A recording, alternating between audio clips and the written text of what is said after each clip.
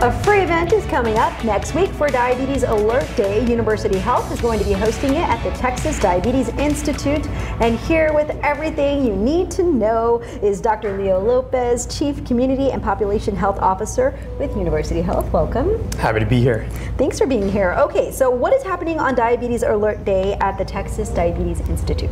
So on Diabetes Alert Day, University Health is bringing experts, resources, blood sugar checks to the community.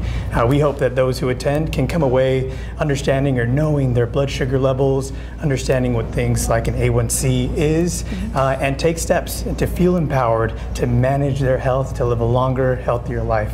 And you mentioned A1C. Can you explain what that is? Definitely. So, an A1C is a blood test that tells us how high someone's blood sugar has been on average for the last three months.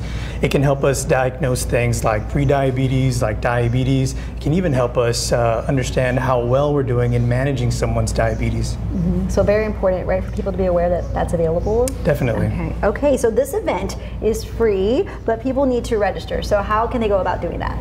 Certainly. So, uh, the event is free. We are asking that folks uh, pre-register or register in advance, and they can follow the QR code that is uh, available on screen, or they can also visit universityhealth.com for more information. What else should people know Prediabetes and diabetes um, can be a life-changing condition. Uh, to take prediabetes, for example, we know that about 100 million people in the U.S. have it, but only about 80% don't know that they've got it at all. Mm. Um, and we know that one in three people right here in Bexar County have prediabetes. So that means that they're at an increased risk for developing type 2 diabetes, heart disease, and strokes.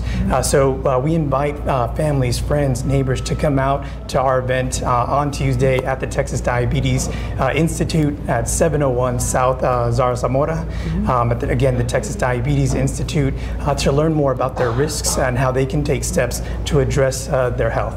And why is it important for University Health also to be a part of this and to have these types of community events? Certainly. So we know that it's going to take all of us working together as a community uh, to confront diabetes mm -hmm. uh, and help improve uh, the health of our entire uh, population. And the fact that it's free, right? That's a win-win too. Definitely. Right. Lots yes. of resources for people to go check out. Thank you so much. Don't forget Diabetes Alert Day at the Texas Diabetes Institute coming up next Tuesday, March 26th from 9 to 11 a.m. The event is, as we mentioned, it's free. So just scan that QR code right there. You get your phone out, scan it right now. It'll take you there. Uh, you can also register online. And don't forget, you have to register, right, Dr. Lopez? We encourage everybody to register in advance, yes. All right. Thank you so much, Dr. Lopez.